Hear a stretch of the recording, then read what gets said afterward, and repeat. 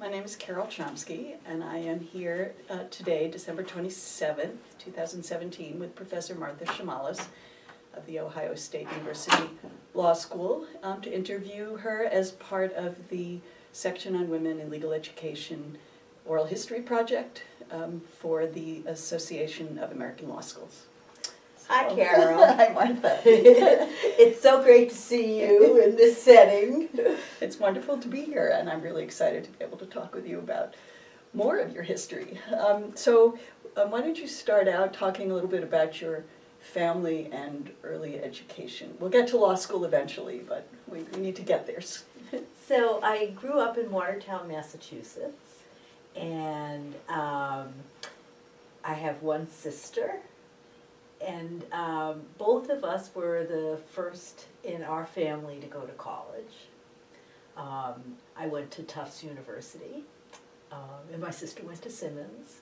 So even though I lived away from home, which was a very big deal, um, I was still pretty close to where I grew up. And did you always know you would end up at least at college, if not law school? So my parents um, always really urged us to go to college. I think it had been um, an aspiration, particularly of my father, to um, have gone to college, and he didn't have the opportunity to do so. And also, um, he often mentioned that he wished he had been a lawyer. Um, he died when I was 14, and I think that that probably made a difference in my choices. But um, beyond going to college, there wasn't anything specific. Mm-hmm. And what did uh, what did your parents? What did your father do? Um, my father was a um, cook and a diner. Um, my father's family is Greek, and so um, his family owned uh, the classic Greek diner um, in Cambridge, Massachusetts. Um, it was a really difficult way of making a living. I can remember him getting up at four o'clock a.m. in the morning so that he could be there when the diner opened. Um, and but there was always a lot of good food. um, uh, my mother um, worked as a clerk in an insurance agency. Um, so we were um, a working class family. We rented an apartment uh, for most of my life. And like a lot of Americans, I thought of myself as middle class until I went to college. And uh, why Tufts? I mean, you said it was uh, you know somewhat close to home, but is that what? I think that was part of it. Um, I also got a full scholarship uh, to attend Tufts. And as I've been thinking about it, um, my law school, my college education um, was pretty much paid for. This was uh, during the Great Society. So um, I had Office of Economic Opportunity loans because I was a low income student. I had a full tuition scholarship uh, by a donor at Tufts. Uh, by the time I went to college, uh, because my father had died, I had my mother had Social Security benefits um, for uh, on behalf of her children, and um, so that combination, that financial package, allowed me to have what I now see was a very expensive education um, with very few student loans. Hmm. And did you? Did that shape? I mean, we, we can come back to that later, but but did that shape your aspirations or your your life in some way coming from that? And I, I mean, did you understand then how much support you were getting, or did that come later? Um, it came a little bit later, although I was happy to have it. I think, like most young people, I thought, I got good grades, of course I should have this. And um, what was much more influential in those college years, um, so I went to Tufts between 1967 and 1971. And as uh, many people know, that was during the revolution. Uh, so the political activism was uh, on the part of college students was at its height. And that was, more than anything else, what colored my views about education, the law, uh, kinds of Can you talk a little bit more about that, about that influence? Yes, um, so I would say that first of all, um, just in terms of spending, um, my time on political activities, um, it was pretty interwoven with the curriculum at Tufts. We had something called the Experimental College that was in part taught by students. And I took, uh, courses in women's liberation, um, which hadn't yet become part of a, a curriculum. There wasn't anything like women's studies or gender studies at that point.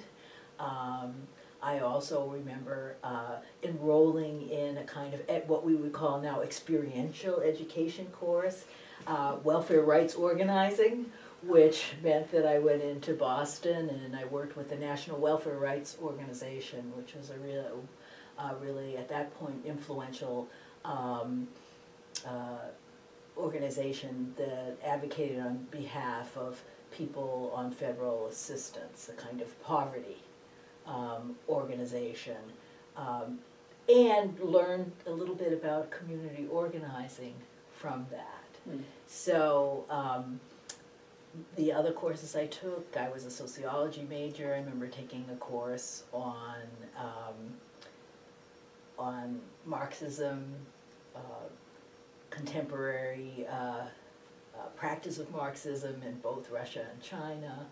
Uh, so this was it, it was interwoven. And, and did you, did you pick that direction, or did it sort of just flow out of things that interested you in terms of the, the course selections? I mean, did you, did you go in with a political perspective and effectuate it there, or did you go in, as many young people do, just, here I am at college, and then, and then those? So I went in with inclinations. Um, I definitely was a Democrat. I um, was thought of myself as civil rights minded, although in my high school, I believe there were no black students at Watertown High School. So the sort of racial integration was more of this um, notion on the part of someone from Boston that this is the way they are, as opposed to having been Mhm. a lived experience. So I, I think I had those affiliations, but it was really the early days um, and choosing of my friends um, in, in college. And I have to say that the Students for a Democratic Society, there were uh, a number of very active student organizations, and I immediately got involved with them, engaged in various types of political actions on their part, and then it becomes part of your identity Mhm. without really knowing that there was a point where you chose. But of course I did, because not everyone, by any means, was political. There were, uh, I remember thinking that there were some students who were very traditional. There were some students who I would call more counterculture types at that time.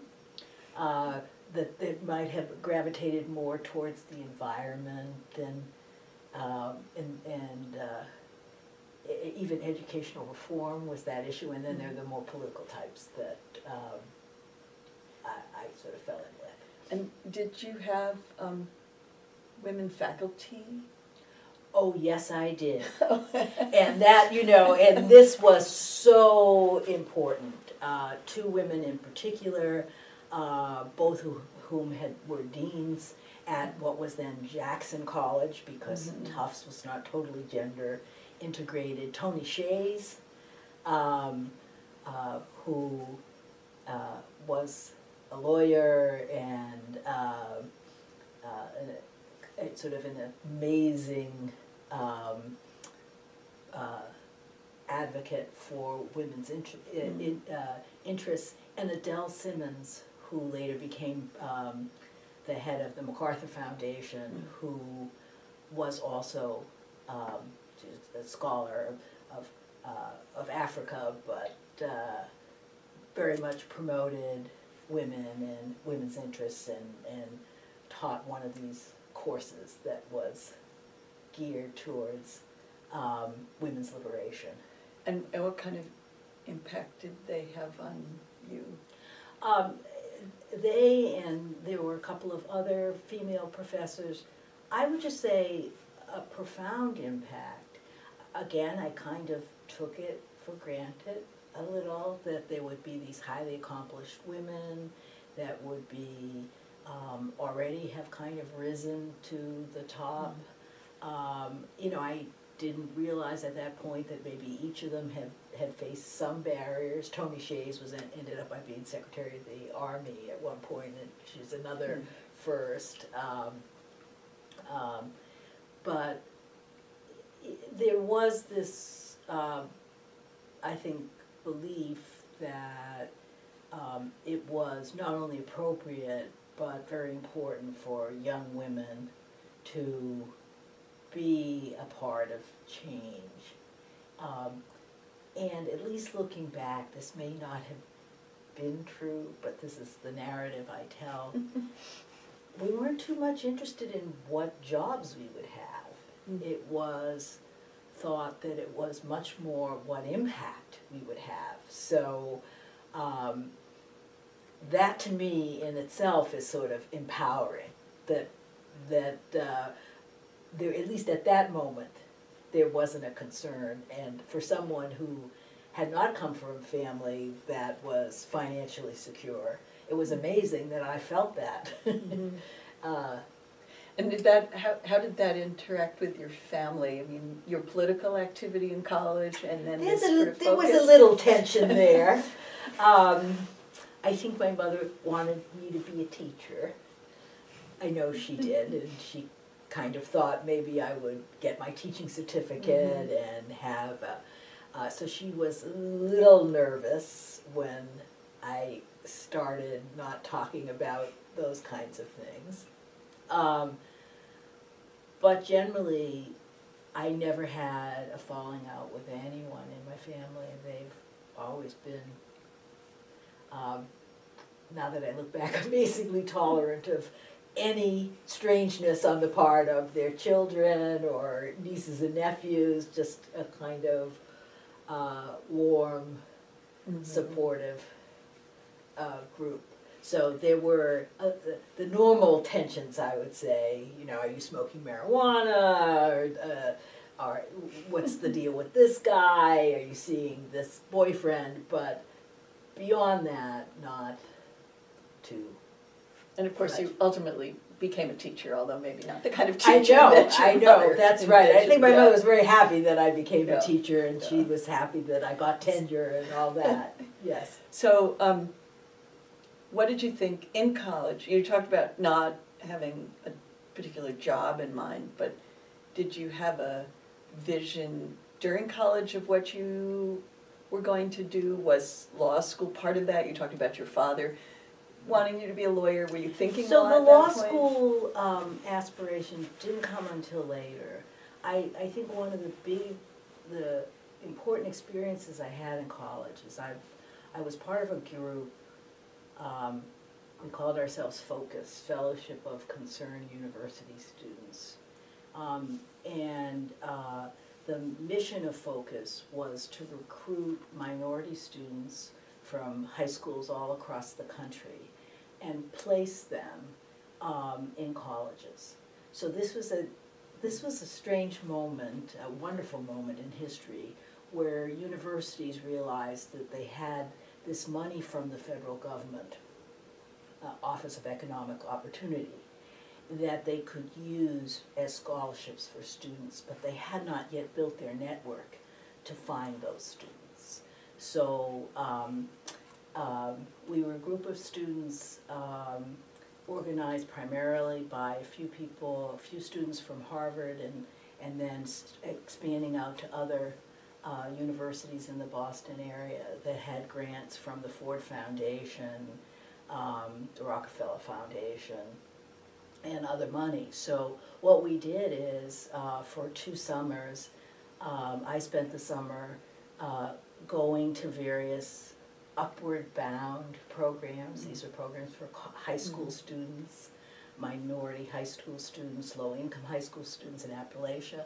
And we would, we would kind of find the students we thought would really do well in college, even though they hadn't yet got the test scores or, um, and then the other part of our job was going to universities, going to these admissions offices and saying, how many places are you gonna give us? And so amazingly enough, they would say, I have five slots for you. And so that to me was, you know, and that we had like a big meeting in Nashville, Tennessee, we would meet, um, where we matched the students with the colleges. And I have to say that we, we placed more students, we placed hundreds of students in that program, much, many more than a lot of the kinds of, um, uh, opportunity programs I've been associated with since Mhm. because of the availability of the federal funds. So that really impressed me. I also spent a lot of time in Louisiana. I ended up by uh, marrying someone from Louisiana, moving down there, you know, just kind of finding myself in a different uh, part of the country, and then thinking, okay, now what do I do?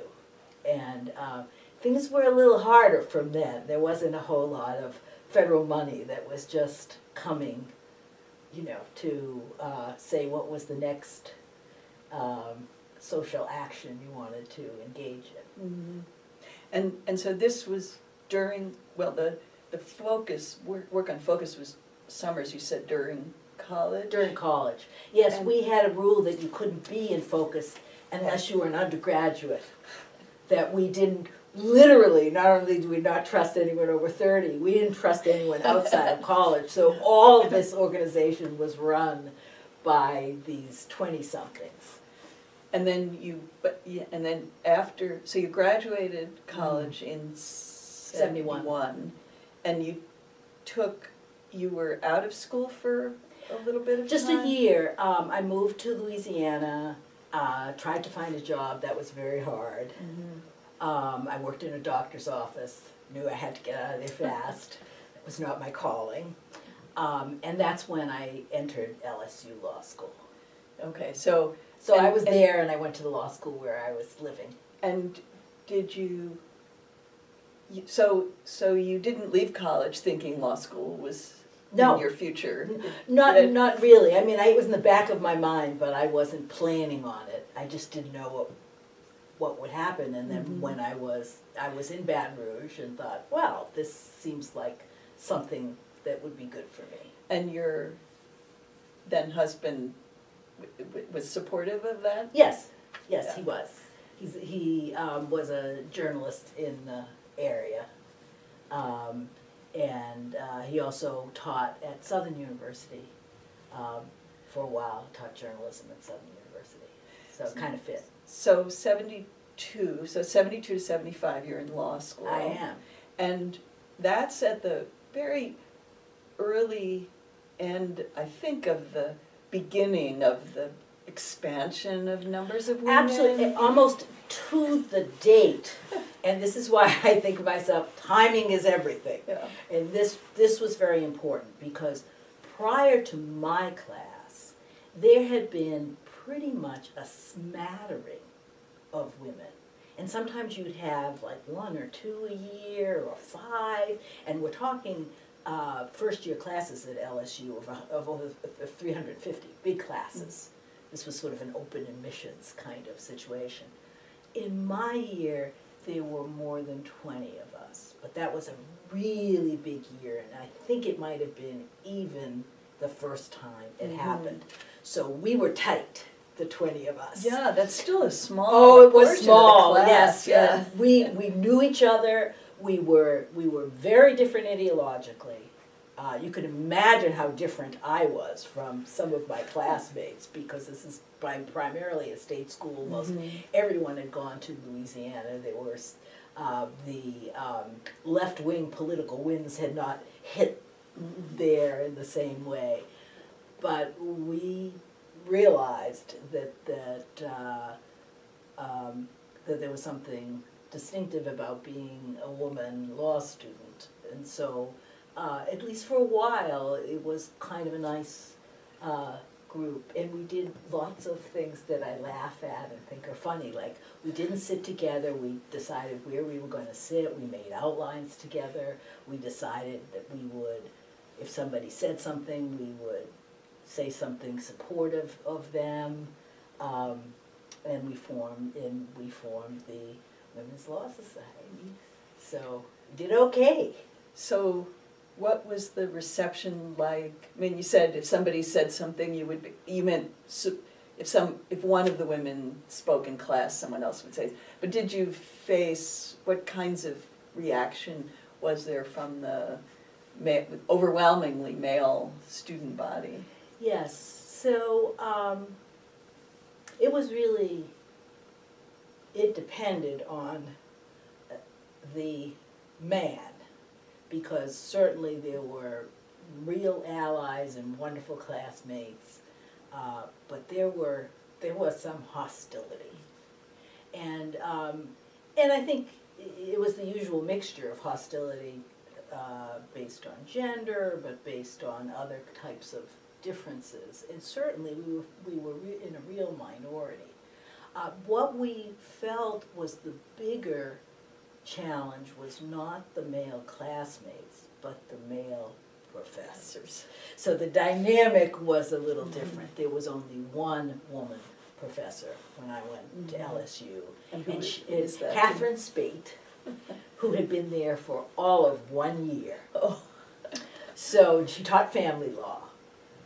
Um, and, uh, and she, she and I maybe have diametrically opposed political views, but she was my great supporter from day one. And, you know, this is why I always, um, think this is kind of, you know, I have, I have good feelings, as you can tell, I have pretty good feelings about LSU despite the very different climate it was. But there were some male professors there that were um, skeptical about women even being lawyers, or particularly skeptical. You know, this was still the time of when the ERA, whether the ERA uh, should have passed or you know, you know should be um, part of the law, and there were many of the male professors who thought that women's place was in the home and this would be a terrible thing. Uh, so that's what we faced. It was more this sort of um, the the thinking about the law itself because 72 to 75 all we had was Reed versus Reed mhm. you know minimum scrutiny with bite maybe. And so um, in my constitutional law class we spent oh not even a day on gender classifications. And um, it was all well women are different and so hence the different treatment of sex discrimination versus other suspect classifications. Um, the family law of Louisiana, the um, man was still considered the headmaster of the family under the community property regime. So it was how do you deal with professors and a substantive body of law that thought of your group as explicitly inferior? And That was a challenge. Did that come out in the class, in classroom discussions? I mean, was it, was it, did it surface or was it sort of internal dealing with? Well, it, it was of course both. I remember one class where, and I can't even recall what the, and I liked the uh, professor very much, a young man, but he said, oh, now I do remember, he said something about how women always change their minds. Um, they don't know their minds, they always, women always change their mind, and I hissed. Because at Tufts, if you didn't like something, you could hiss. And I realized that You were not in Tufts anymore. yeah, that's right. And and it wasn't, you know, it wasn't the late Mm. '60s anymore either. Um, and I remember going to see him after and talking about it, and Uh, and then realizing that this was going to have to be a little bit different way of negotiating. Um, and also, you know, sort of learning to speak one's objections as opposed to Mhm. hissing. Um, sometimes we just went along to get along. There's a notorious family law professor who believed in the natural differences of men and women. And I remember studying for that exam with the other women and basically kind of preparing how we would uh, write, uh, you know, sort of, I think about it as kind of with a slave mentality. and then we would say, of course, the ERA will undermine the fundamental structure of, and, and, uh, you know, how to secure an A in that course. So, yes, there were some differences. I um, went back to LSU um, to give a talk, and um, and apparently there was some document that they that the faculty had kept. Because at that point uh, the faculty had to approve if you were um, an officer of the law review and I was became editor in chief. And they um, it was written despite her women lib tendencies. We think Martha is able to do the job and so I mean it was like right there explicitly um, in the record. Yeah, that's, and, and then you said um, Katherine Spaht was a great supporter, mentor, I mean, how did you, how Not did really, she was just um, someone who I think quietly behind the scenes always advocated for me, and I never knew this until later. I actually had some wonderful mentors at LSU, male professors, who um, who took me under their wing because I had performed very well in the class, and were clearly thinking about it would be nice to add women to the faculty, you know, because there was only one. And so it was really a very different time. And when I got very good grades and people saw that they thought I had the intellect to do this sort of work, um, this was the time when at LSU they didn't mind hiring their own. The dean talked to me when I was a second year student and asked whether I'd consider thinking about being a law professor. Mm. So, um, one of the interesting maybe paradoxes, but I don't really think of it as a paradox, was despite the fact that I went to a school that was um, pretty hostile to feminism, um, because of the timing and because of personal um, support, I probably um, got a boost to my career that I don't know that I would have gotten so easily at other places. So, at other places. Other law And, schools, and, yeah. and maybe, and maybe other times too. Oh, certainly yeah, other times, yeah, no, yeah. timing Yeah. is the key thing, yeah. So what did you, so, so even as a second year student, I have to say, you underplayed your, you, you got very good grades, but, but you were like the top of the class, like all three years, I think, I so- was, I was, and I, I had the highest average, the highest average ever, you know, they tried to figure out if someone had the, I did really well Yes. in the, the, for the, for the exams, Yeah, I did yeah. really well, yes. So, uh, even second year, the, you said the professor or the dean. The dean, yeah. Talked to you about maybe, uh, becoming a law, do- a law professor, did you, did you think about that, is that what your plan was? Well, it's, I started to formulate, that sounds like a Yeah. good plan. No. So, um, although I didn't, again, when I think about how intentional people are now and how elaborate the hiring process is, um, what I did was think, well, I should get a clerkship. I should Mhm. have a federal clerkship, and I really want one. And I interviewed at two places for after the clerkship for law teaching prof- uh, jobs, LSU and Tulane. And when LSU made me the offer, I took it like I kind of knew I would. Mhm. And that was even before the, that was during the clerkship or before you had No, uh, it was after. Oh, the after. clerkship, you know, in those days, it wasn't Wasn't kind of. Yeah, yeah, yeah. Or it- it probably was, you know, very much towards the end of the clerkship, Yeah. yeah.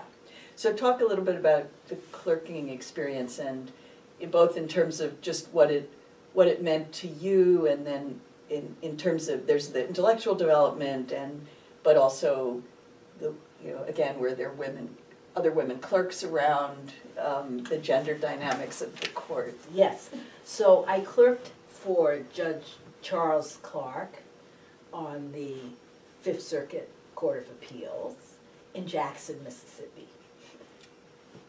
And um, Judge Clark um, had uh, been a Republican appointee. Um, he uh, had made his reputation representing the state of Mississippi in some of the segregation battles. So he, he was thought of as a conservative Republican, which he was. Um, an extraordinary man, he decided that it would be good for him to hire liberal clerks.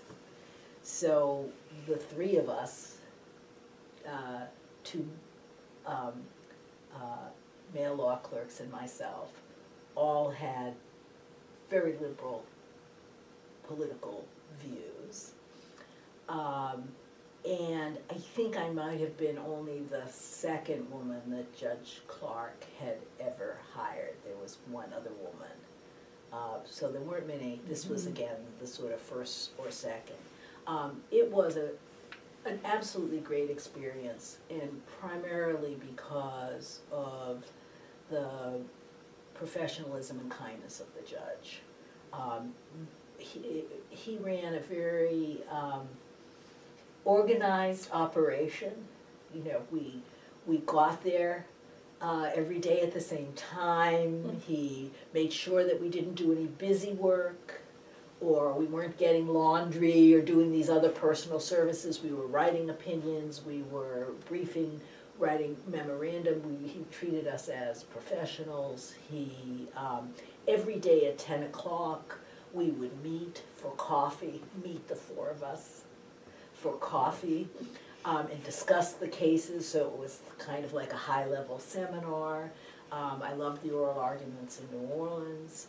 Um, and I, I have to say that um, I just learned so much about the law uh, from him and, and, and felt like his opinions, even though I might have wished some of them had gone the other way, were grounded and he was um, someone who placed a high value on collegiality.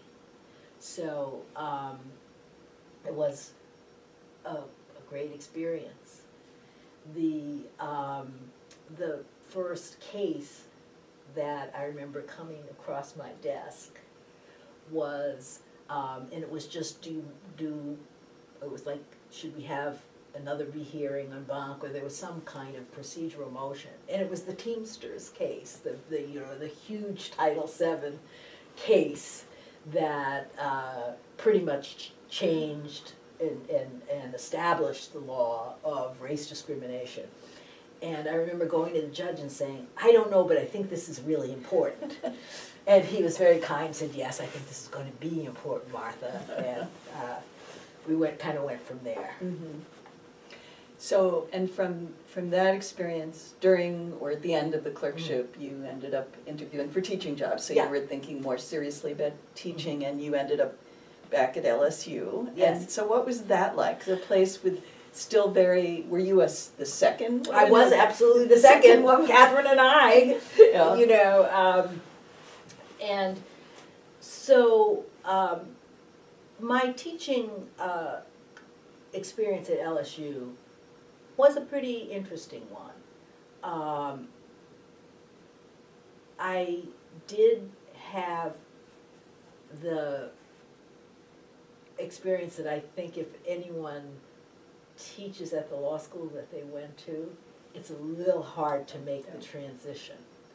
Um, but it was okay, you know, I, I sort of kept my mentors. And I noticed when I got to faculty meetings that some of the professors that I admired very much uh, didn't so much admire their behavior in faculty meetings. So this sort of realignment is now now had to take place, and that's very hard when you're someone who's been the pet. Mhm. You know, so I would say that uh, years later, I, I um, studied Rosabeth Moss Kanter, Women in the Corporation. And uh, she had done this classic study on tokenism. So, um, um, and often uh, women, when they are an extreme minority, are sort of assimilated to um, roles that they would have in the family. So there's like the little sister or the pad, and then there's the militant and and the uh, Iron Maiden, or and so clearly when I came, I was kind of the pet or the little sister, Mhm. and so I wondered whether you know when that role started to erode, making the shift could be a little more difficult. But um, a couple of things that again were good and and were similar to my law school experience. A few professors took me under their wing in terms of teaching, and so even though I was very young, um, you know, big classes with eighty plus students, and at that time we had four courses, and we kind of like had the courses assigned. So, uh, I've, I've taught torts almost every year of my life, but I never said I want to teach torts. Um, I wanted to teach criminal procedure in those days, and I taught, I taught torts, criminal procedures, I taught criminal procedure, I taught ad law, I taught civil procedure. You know, this was a different generation. Um, so there was enormous teaching burden. And, um, but I, but I was able to find someone almost for each class who would say, here are my notes, let's talk it over. Um, so I, I, the teaching piece was just fine for me. Mhm.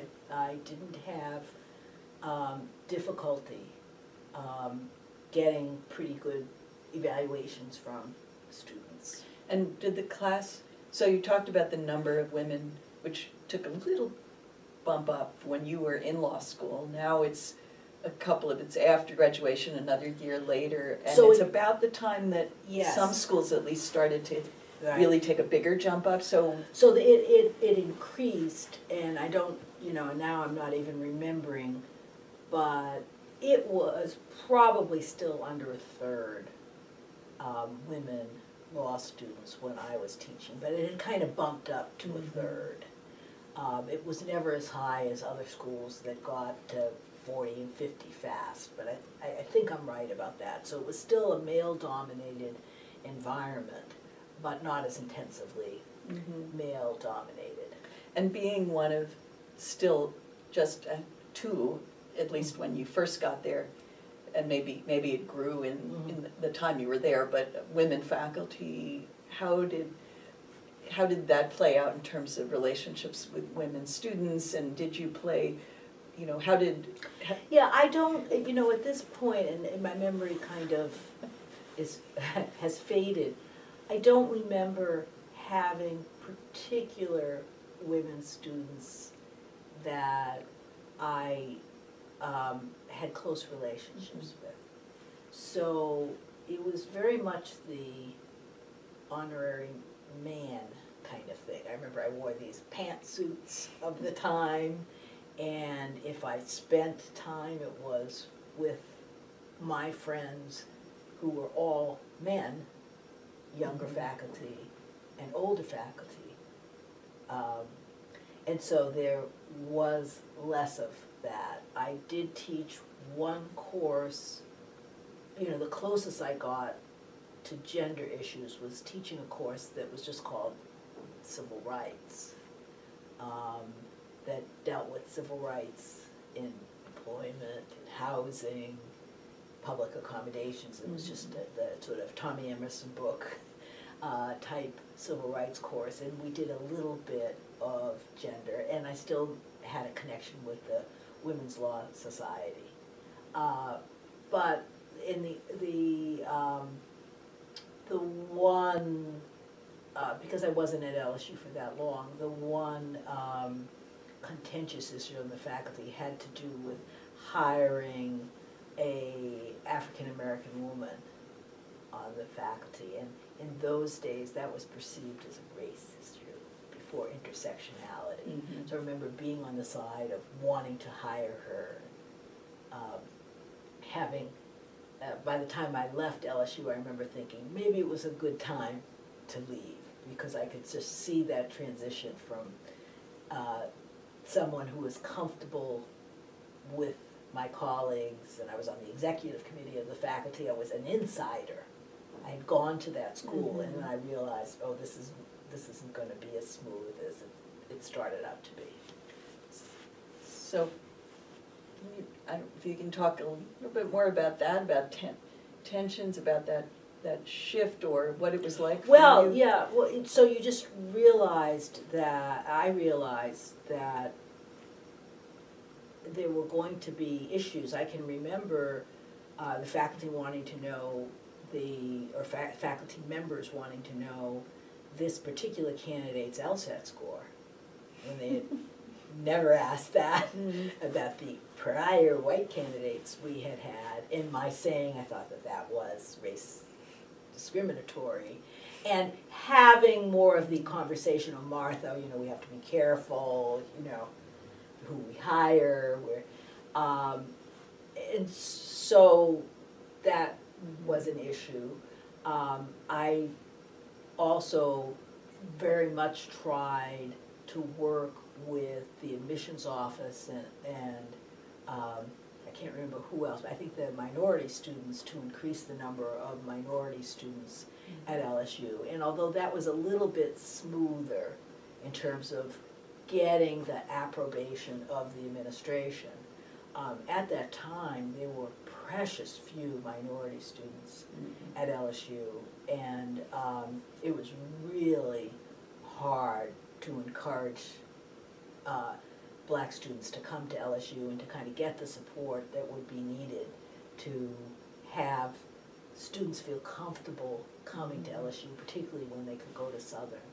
So there were those kinds of issues.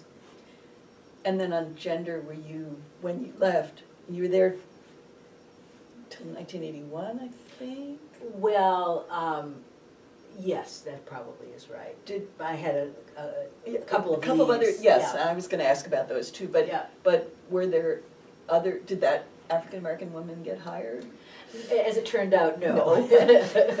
And, But I um, don't actually remember why, whether she said no or we Right. did, yes. And what, was there any more gender, I mean, were there more women there by the time you left, or? Uh, and this is where I don't have the numbers, I Yeah. just, at that point, it was, I think they're kind of plateauing. mm -hmm. And so, by the time I knew that I wanted to leave LSU, um, it was still an intensively male and intensively white place Yeah. and sort of changed somewhat, but not greatly over a long period of time. So, um, and you started to mention, you had a few leaves doing other things while you were teaching. So you were teaching full-time, but then you were at, you, you worked at a law firm, you worked at the Justice Department, I did, I worked So- for the Labor Department and I worked for a law firm. Oh, Labor And- Department, that's yeah. right. Um, so partly this was eh, my attempt to kind of make another move. So I worked for a large firm, because I had never practiced, Wald Harkrader in Ross, which was a great firm in Mhm. DC. Um, and that was a terrific experience. And at that time, there was so much legal work in DC that firms were just happy to have people that they thought could do the work of an associate. Mhm. Um, and to come as long as you wanted, so I just took a leave and I worked as an associate in a Washington DC practice. But at that time, not only did we do the sort of regular, did I do regulatory work, but I was involved in some interesting civil rights cases. So this is where I really began to think, oh, I would like to be someone who was teaching or practicing in the civil rights area. You know, it hadn't quite gelled until that Mhm. point. Uh, there was a pro bono case against Uncle Ben's, it was a race discrimination case that we won, a class action, we won a big class action against the federal government, age discrimination suit. And I worked for a very uh, controversial partner, Terry Lenzer, Lenzner, who went on to be the Democrats' big opposition research person, um, Hmm. uh, suing the Boston Public Housing Authority for race discrimination. So that was, um, that was important to me because at least I, s- I was, uh, I saw, um, the construction of these kinds of cases and, and got a little flavor for litigation. And that was, so that was at the law firm, Right. and then you were also in the civil rights division at, At the Labor Department, Labor yeah, so Department. this is the. A little bit the- later, yeah. Yeah, this is the, um, uh, the, the department that, um, enforces the executive order against discrimination and affirmative action. Um, and so we had gender discrimination suits. By that time, it kind of had shifted to gender discrimination. Um, and particularly, I was involved in a, large suit that, um, against a lumber mill in Montana that had uh, discriminated against women. So we, you know, worked with expert witnesses and determining whether the, uh, women were qualified to do the job and, um, um, had taste of that type of Mhm. litigation. But during that period, remember I was still on leave, Mhm. during that period Ronald Reagan was elected. And my department was not going to be able to do the things that we wanted to do. So I got a, quickly got a job at Energy because they were um, going to uh, represent uh, individuals, believe it or not, at Energy who had been affected by Agent Orange. I thought, oh, this will be interesting, doing this kind of administrative work. But when Reagan got into office, he um, got rid of all the Carter holdovers that we were called. so I lost my job. Oh. I was very happy because by that point I had um, uh, uh, Peter Shane and I had gotten together and we decided we would go on the market together. Go again on the teaching market Mhm. together. So I was just happily ensconced in DC writing my article, Title Seven. No. So, so were you out of, so you, were you still on leave from LSU or you? Yes, I was. Yes, I was on leave from LSU during this time. I tried Okay. not. Although I will now tell you that when we got the jobs at Iowa, Mhm. um, I had to give up tenure in order to get my fancy job at Iowa. So you got tenure at I LSU. did get tenure at So- LSU. Uh, So we didn't, so, we didn't talk about what you were writing and doing. Yes. uh, th- Then, because you, your, your civil rights commitments partly came through the leave positions, but maybe you brought that back into. So the, the article I wrote, and at that time, uh, you could get tenure with only one article. At LSU, was more of a teaching institution, but, um, was on tort law. Hmm. Um, and I, um, was helped in that endeavor by the great, the late, great Wex Malone, who was, um, a legendary legal historian and legal realist. Um, so, um, I wrote about tort law and I, um, had that article published in the Louisiana Law Review. Um, and again, just to show you how strange the world was then and how informal and networky it was. It wasn't because I had taken a year's leave, I wasn't sure if I was supposed to go up for tenure when I had finished my article. Um, and I was told, I was kind of advised, oh yes, we would like you to come up for tenure because we want to give you tenure. So again, I was Yeah. spared Right. that horrible um, the uh, experience that most Right. professors have. So I sort of received tenure from LSU, Yeah. but to get my fancy job at Iowa, I had, You had to to give it up, so you had to go up. through the process I, and I did, again. and that and that was Yes. the real thing. Yeah, yeah. So, and you were at Iowa for, oh oh, Thirteen years. thirteen years? Yeah. Okay, so, so what was that, so what was that like compared to? Uh, it was very, very different. And um, I always think of Iowa as the years of the gender wars. And so the interesting thing about Iowa is that um, there was still very few women law professors. Um, there may have, Josie Gittler was the woman before me, and there had been uh, one other who had since left, and so again, I was sort of like the The second second. one. But th- something was different at Iowa, and that is that there were, there were a number of um, very strong, very important, in my view, clinical professors who were women. So they weren't on the tenure track, um, but there was a kind of critical mass of women faculty, even though it took a while before there were more women tenure track faculty.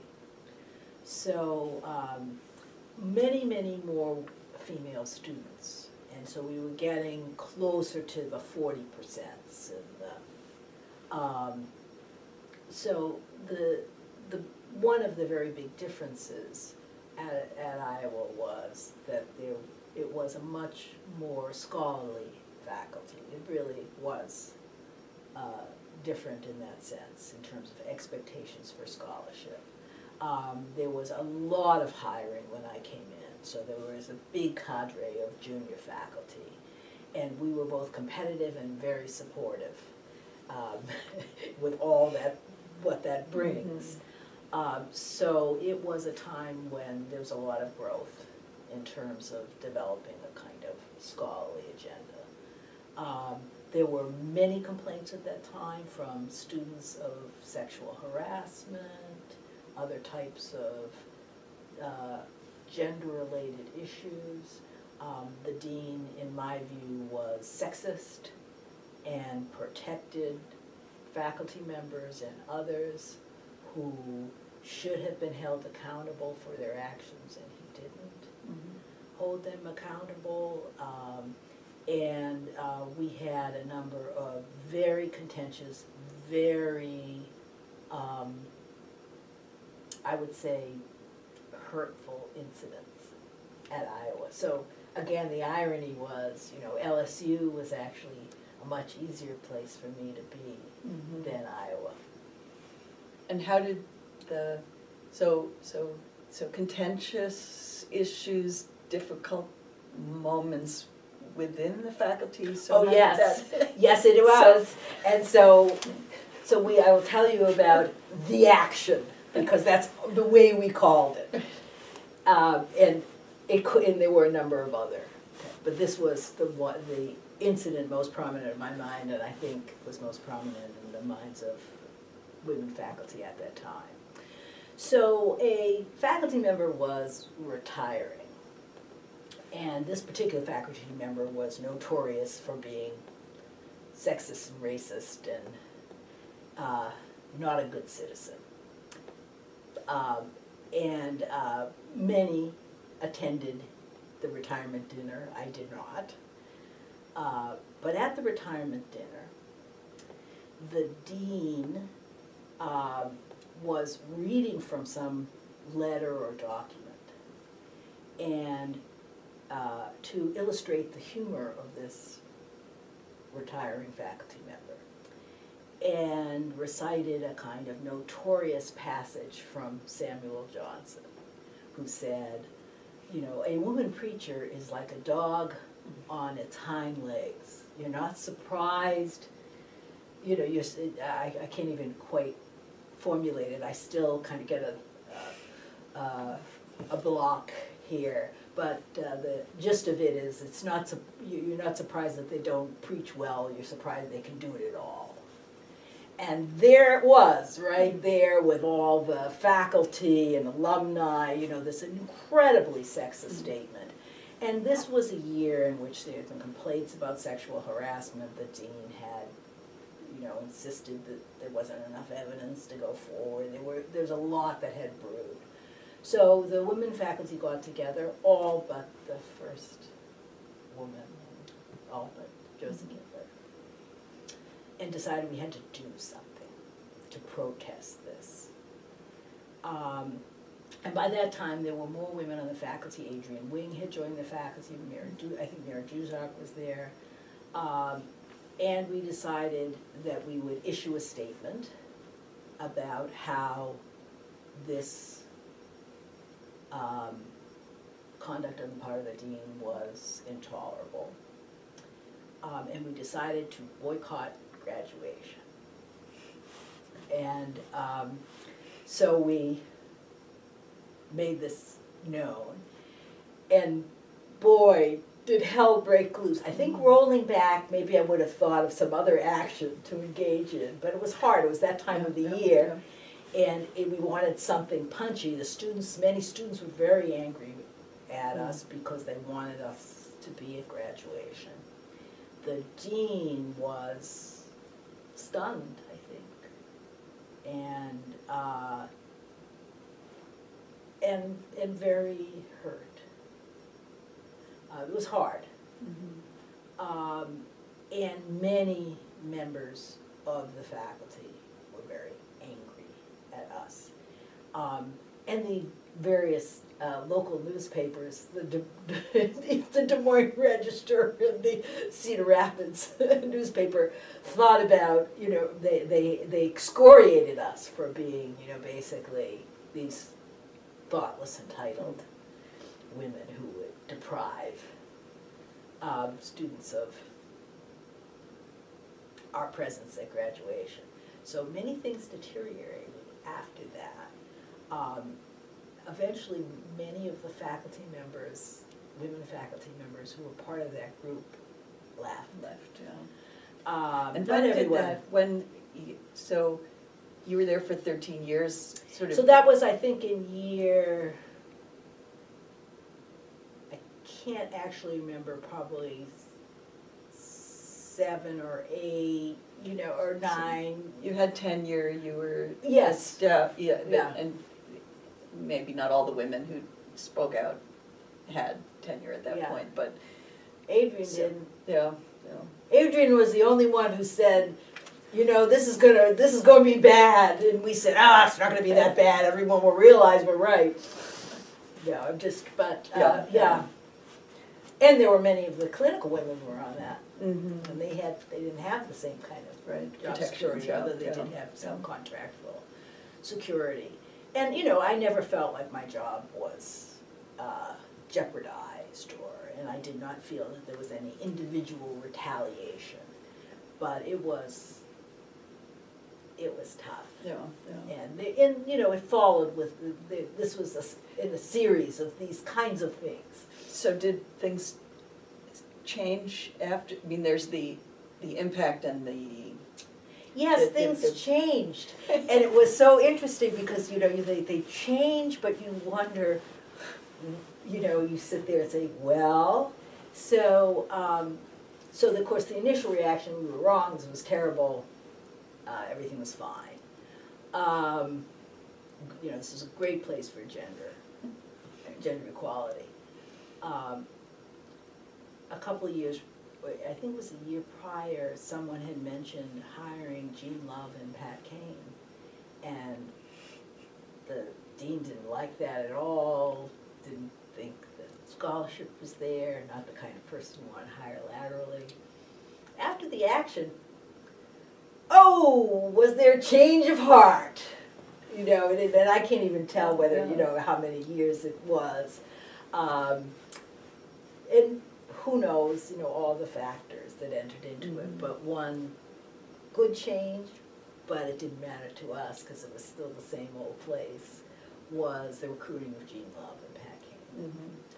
Mhm. Um, we also had a situation where we issued a minority report about gender equality when the AALS committee came.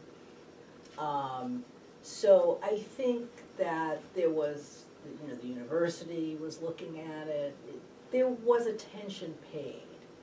And more women were hired. Um, but it is an interesting sort of thing.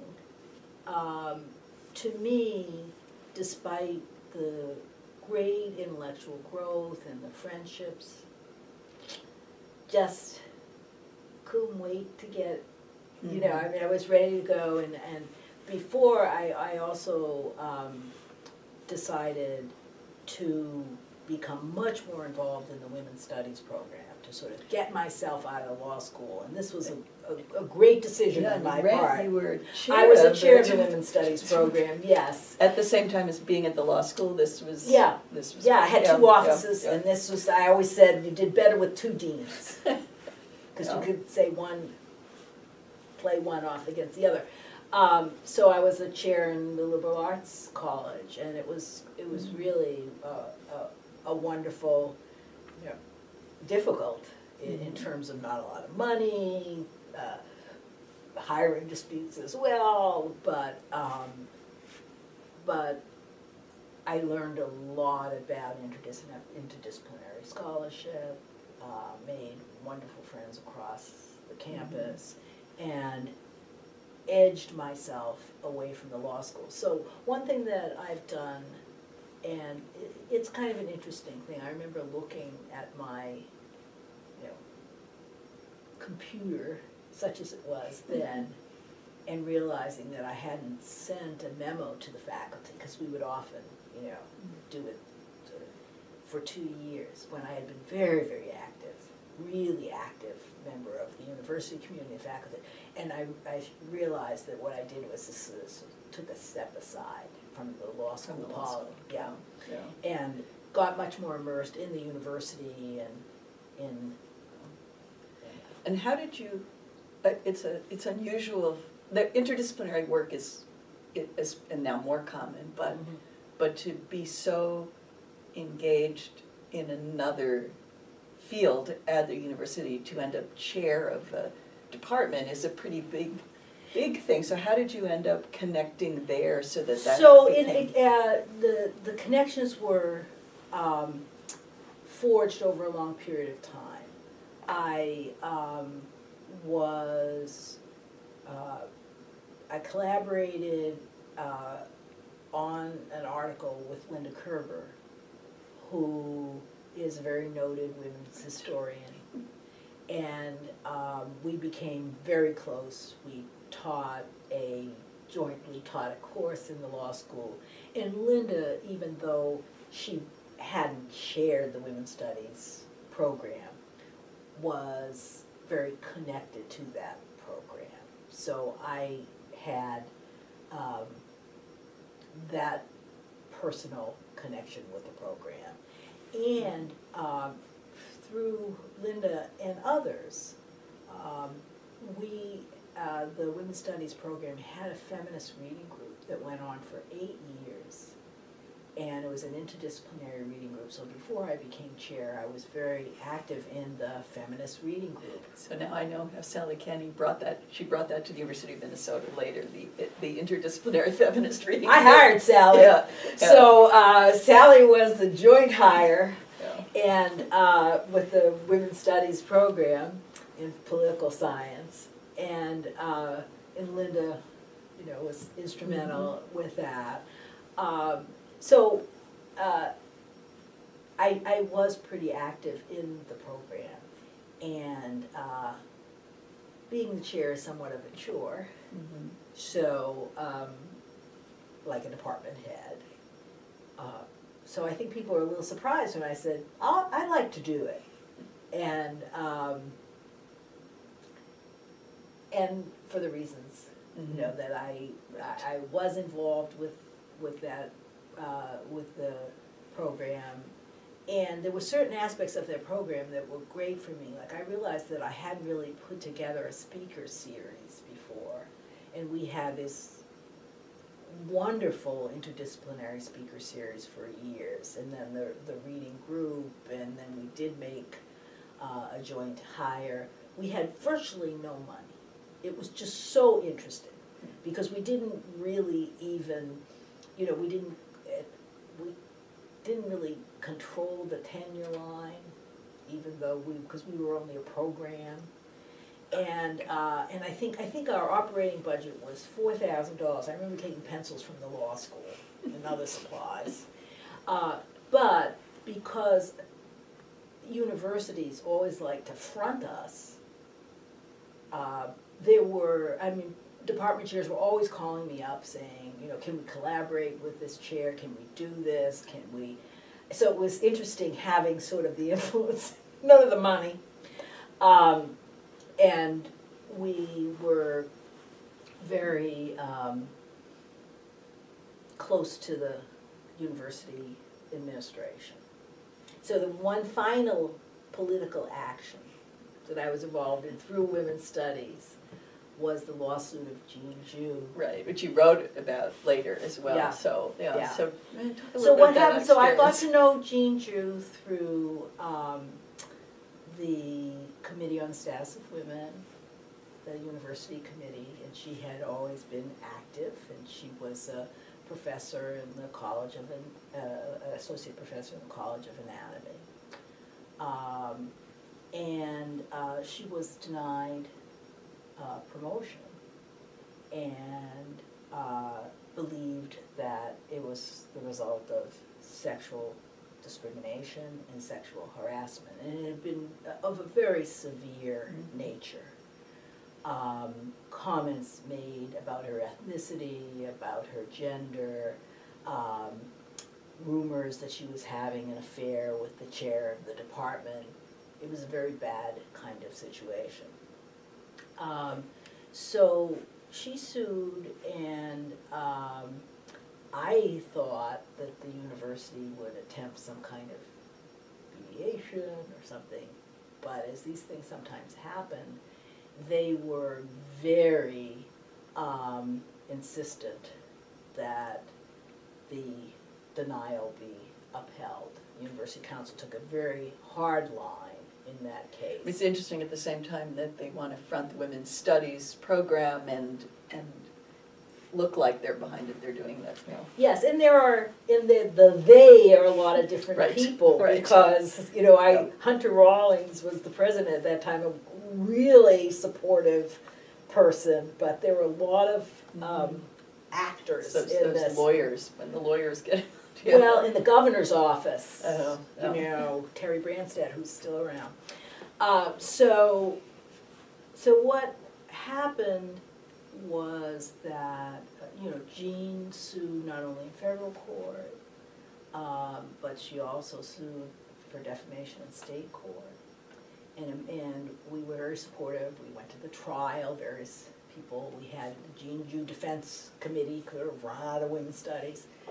Um, and we thought when she prevailed in both courts, that this would be the end. And the university said, no, we're appealing. All these racist and sexist things that were said were protected by the First Amendment. We were shocked, again, why should I be, but we learned yeah. that, you know, that yes, they had that defense available, and uh, so they took it, rather than, well, how could, you certainly wouldn't do this. Um, so we kind of went into gear, and we, um, we took the judge's, uh, decision, the district court's decision, and we mailed it to every faculty member on campus. You know, you just have university mail, you can kind of do this with, with no statement, just mailed, this was a great opinion. And this time, sentiment was in our favor, and the various um, op-eds and editorials were, what's the, you know, what's the university doing, why are they defending this? Uh, And the, um, we were going to have a big rally one day, you know, in her favor after we had sent the opinion. We had like sig- we had a big signatory thing, so we had hundreds and hundreds of faculty members signing on. And I remember the provost called me and said, uh, we're dropping the suit. So that was sort of, that was a big deal. Yeah, yeah. it was a Yeah, victory, yeah. and, you know, as you know, I wrote about it, and I'm sure people have various kinds of views uh, about this case, because um, it was a difficult, uh, the lines had been drawn in her department. Uh, It was a really um, divisive kind of thing. But Jean had been so mistreated, and I just thought that at that point, there should come a time, and maybe we're at a time, Where there's some accountability. there's some accountability without, even before you win the federal No, no. suit, even before you win the state defamation. a long time coming, Yeah, yeah. yeah, well, and you know, we shall see, Mhm. but, um, that was an important moment for me, and as you can tell, though, that's why I say the gender wars. Mhm. Um, and Jean Jew's case was really interesting because it was truly an intersectional case. It was about her being different Mhm. on a lot of grounds. And, and she was somebody who had not been a feminist, you know, kind of the, uh, she was just all science all the time. And, uh, and even when we were constructing various aspects, she was always so careful to make sure that we never overstated anything, we never Mhm. said anything that wasn't absolutely correct. I had such admiration for her. So, um, coming back to the law school side, one thing you, mentioned when you left LSU, sort of in your time in DC, and then going on the market Mhm. with Peter Shane, your, Mhm. your husband. So you're on the faculty together at a time when there's some amount of gender issues and contention, and so how did, you know, this, that, it's an, un it's maybe, um, it's not unique certainly, but the idea of having a, a, a legal academic family and sort of living through being at an institution with, with, with that So this is, this is my cut on it. Uh, can interview Peter. Peter was always behind me, the other women faculty, the progressive issues of the day, a hundred percent. And boy, did he take a hit for it. Um, that, that's what I believe, that I think that, um, there were opportunities for leadership. I mean, he had, he was the, um, uh, president of the faculty senate, um, you know, kind of a, a, uh, certainly a leader in his own right. But within the law school, you know, he was not asked to chair the appointments committee. I was. You know, I mean, because you kind of sometimes have to have a woman after this, and that's when Adrien Wing was hired. So, um, I think that in many ways, this is, it's tough. I think faculty couples are difficult. Peter and I did have a kind of style that we agreed upon. Not, again, it was sort of, we fell into it. We didn't sit together, we had different names, we interviewed separately. There are many people that didn't know, you know, students that didn't know that we were a couple. We tried to have separate identities, and I think we were very Mhm. successful in doing that. Um, and it fit our kind of um, mode of being. But the fact of the matter is that, uh, you know, with respect to each other, we've been a team.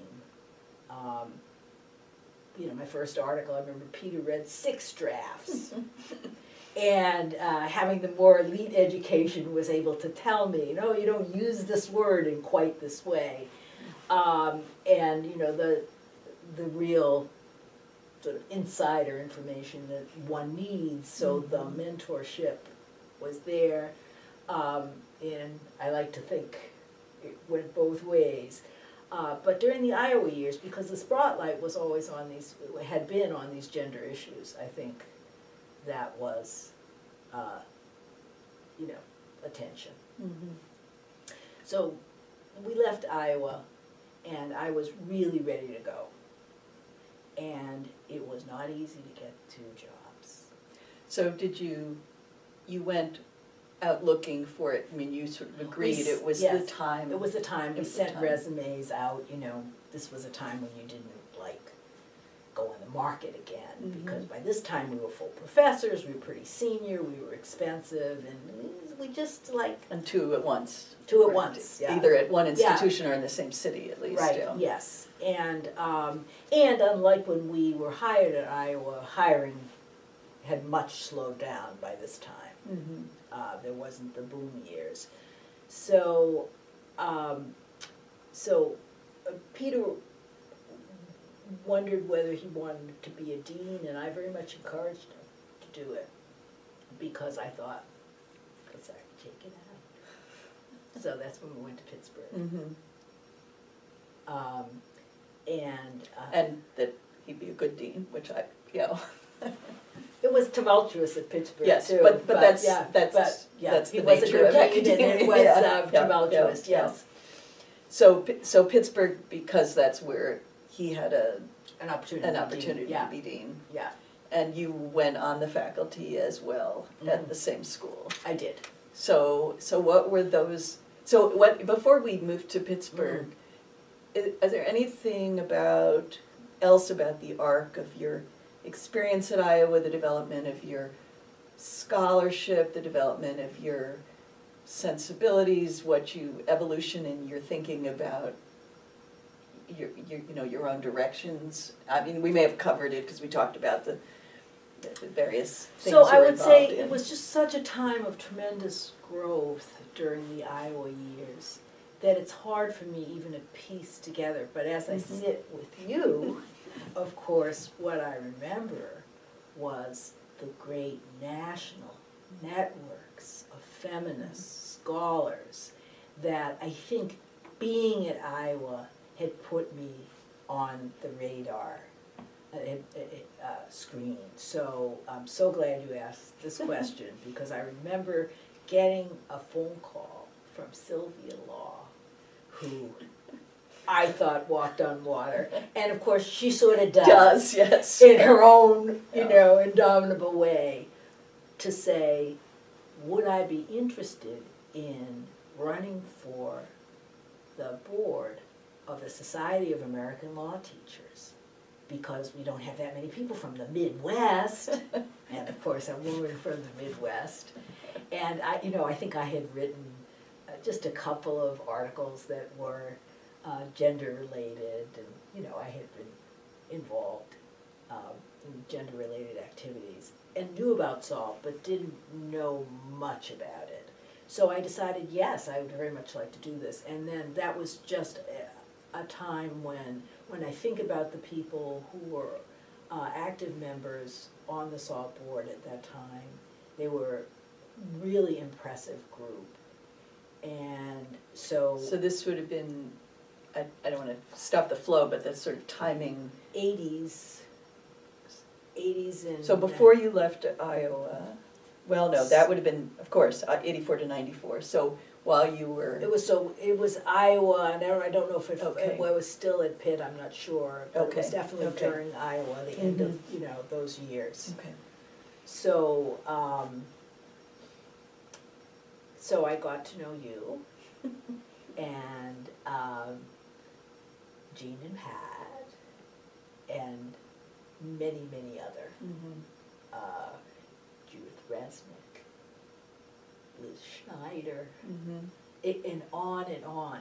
And every single person that I got to know through SALT ended up by offering me something that was great.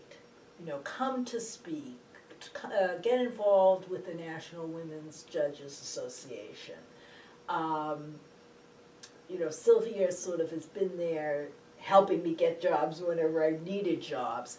But um, just so many kinds of opportunities through this feminist, you know, I consider this a feminist progressive network Mhm. of, uh, of people.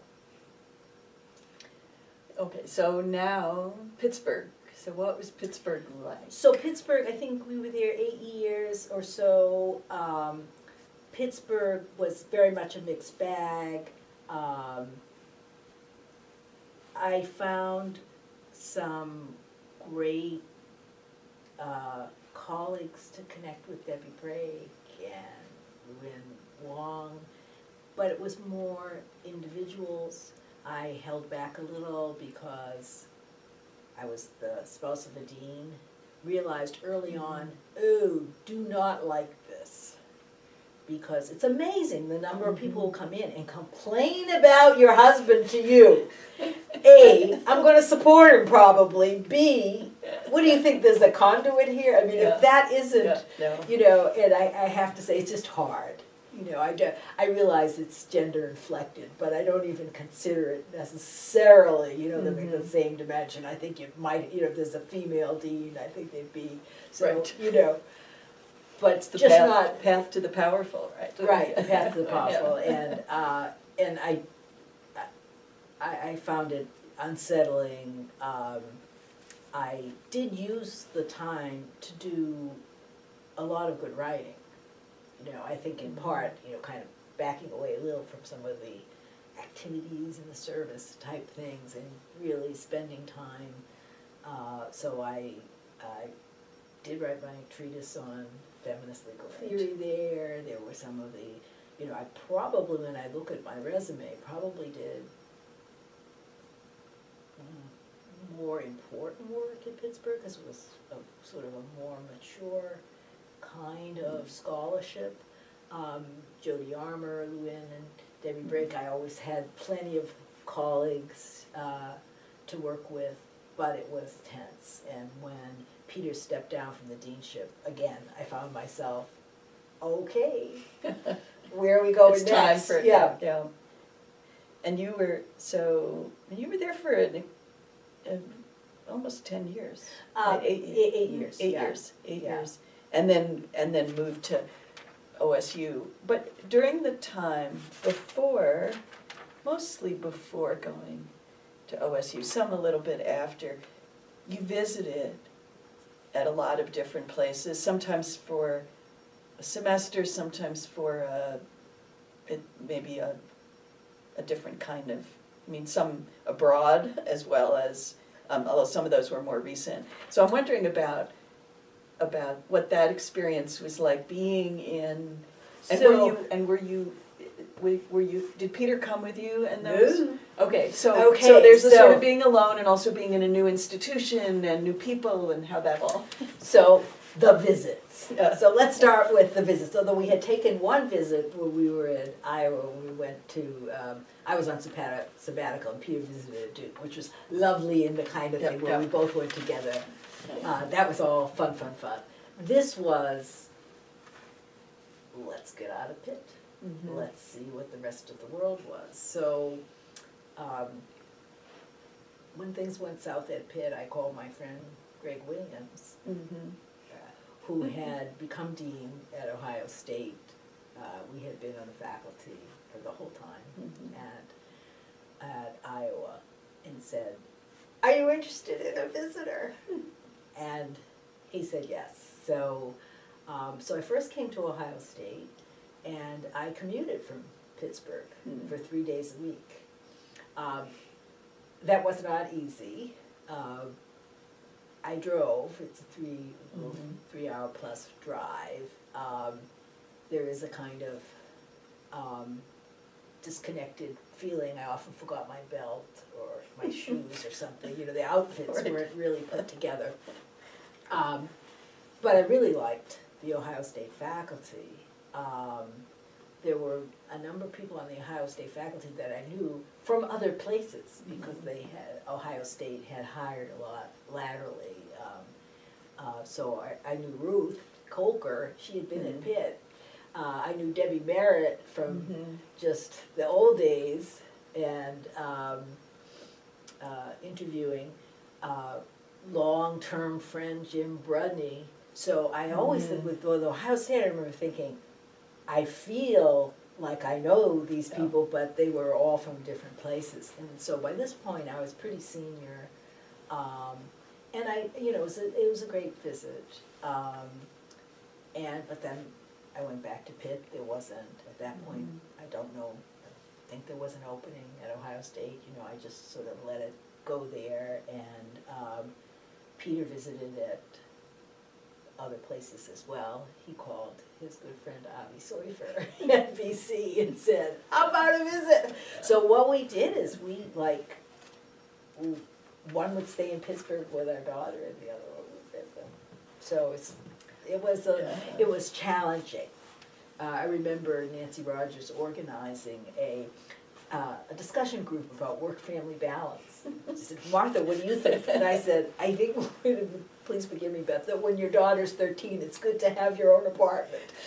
Because that was that. Mhm. So, um, so we did do that, Mhm. um, and when, after the Michael Moritz gift, uh, Nancy Rogers called and said, would you like to be considered for the, uh, a chair at Ohio State? And I said, oh, yes. Um, and then, uh, Peters, by that point, was at Carnegie Mellon in the public policy school. Mhm. Um, and, um, it took a year before Peter's, uh, position was available at Ohio State, so.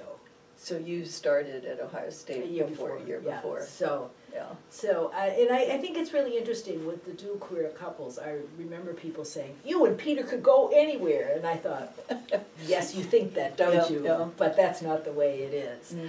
Uh, but we were, you know, really fortunate, um, to get the jobs at Ohio State. Did you, um, in the various visits, did, I, I, I think it's hard in a semester visit to engage fully with the faculty. You don't go to faculty meetings, I mean, it's one of the benefits of a visit, is you don't have to do those sorts of things, but, but did you, did you make connections? I'm thinking about, about with women faculty particularly, or seeing differences from school to school in ways that informed your understanding of legal academia? So much so, because, so once you get the visit thing down, you realize, particularly if it's only a semester, you can't wait for people to ask you out to lunch or dinner, because by the time they realize they really wanna do it, it's at the end of the semester. Yeah. So what you have to do is front load that stuff. Yeah. And uh, so I have visited for a variety of different reasons at different times, you know, at uh, First Ohio State, uh, Suffolk, Washington University, and Virginia, in, in Richmond, not to mention. In Ten- Tennessee?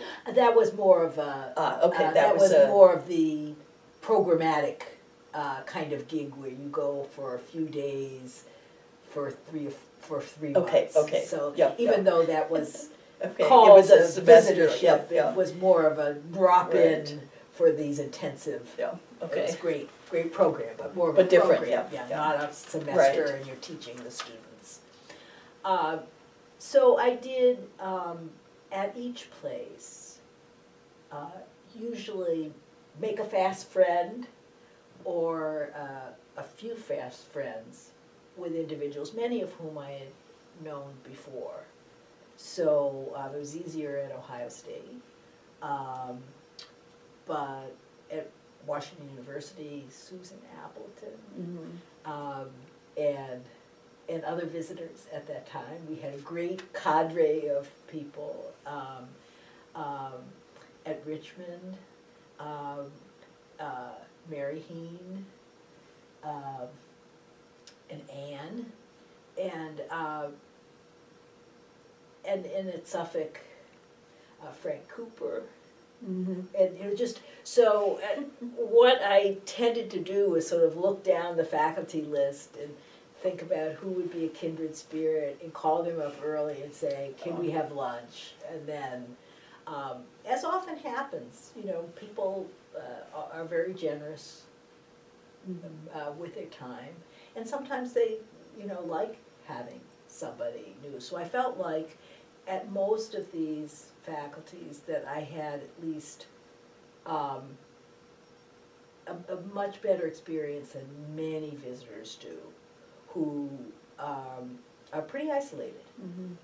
Yeah, you took the initiative and, and also you were alone mo- for Yes. most of these, so you didn't have the family, going home to the family in the evening, Yes, so. um, And, and, uh, and I do think that, because I was kind of like the house guest, it, mhm. I think I, I don't know how many times I went to Susan Appleton's house. You know, I, I felt like I could just go over there, you know, um, and that, that was the, you know, it's different in each place, but you're sort of available Yeah, yeah, and, uh, and sort of more willing to do it too, Mhm. because, you're right, you're not, Yeah. you're not matching schedules, who's coming home when and, yeah. Right, yeah, right.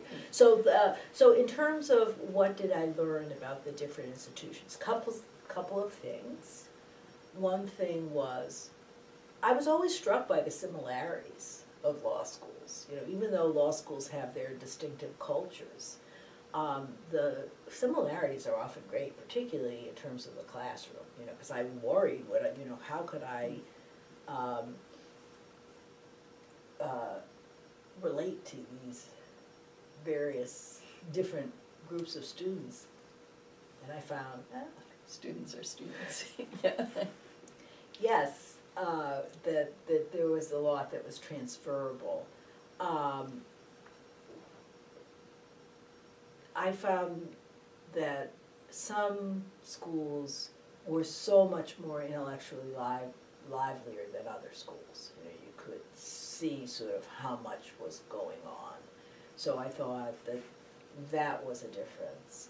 Um, I do think with respect to the visits, you hear from women faculty, you hear from others about the political climate of the school, but I didn't have that insider sense. So, you know, there were some schools that were much more sedate and seemed like they weren't doing that much with respect to gender equality, and other schools that were very Mhm. much, uh, very much different. Later, um, at Ohio State, I visited at Harvard, Mhm. and that was sort of the biggest difference that I saw uh, in the schools that I had visited. But, um, And that, that they were, well, talk about that. well, I'll talk about that. Um, it was much more intense, Mhm. much more intense. And, you know, I expected the students to be smart, but, oh! And uh, it was, it was a great experience. And, uh, and partly because the, because the students were so motivated and so not only wanting to learn every bit of doctrine you could throw their way or, you know, uh, other aspects of sort of the body of tort law or Mhm. employment discrimination law. Uh, but the, but there are just so many student groups, it's a big place, and when you think Mhm. about everyone as being, having a real sense of wanting this to be a unique experience for themselves. Um, there were so many requests and opportunities I had to speak to about gender and tort law, to speak about women in the classroom, to speak about um, feminist theory. And that, that was primarily student driven. So what Mhm. I realized, um, although I did get to know some faculty members and had, and- and had a nice little cadre of visitors in our floor, sort of like the visitors floor, um, that I found myself much more enmeshed in the lives of the students than I had been sometimes at other schools, because they were just, there were more of them, they, and they were more active, and they had a lot more money to deal with. No. You know, they had, their organizations were well-funded, and And that maybe made a huge for a particular in, infusing of. Yes, your- like our yeah. section had a budget that was bigger than the women's studies budget in. Iowa. Yeah. And, uh, you know, the tort section, so when Yeah. they decided they wanted to do something, they, Mhm. they just were able to do it. So uh, I do, that's the one theme I will have is whenever there's been big pots of money, there's more activity Yeah. associated with Yeah. these groups, so. Um, so, two di- very different questions, so I'll do them one at a time. You, you mentioned your daughter, um, having, and now she's well past thirteen, that was a moment in time. But, but, um, how was, what, what impact do you think it had on her about having two law faculty parents and a, and a strong, well, both a strong woman, law-focused mother and very supportive, law-focused, I- I- and, and, and busy people, you know, sharing parenting in a, even in a particularly stressful way when you go away for a semester. Yeah, um, well, I think it had enormous impact. Um, one impact was for a lot of her life, her whole life was the university. You know, when you think about having both parents' offices be in the university, one time we went on vacation and uh, she wanted to know where our offices were, you know.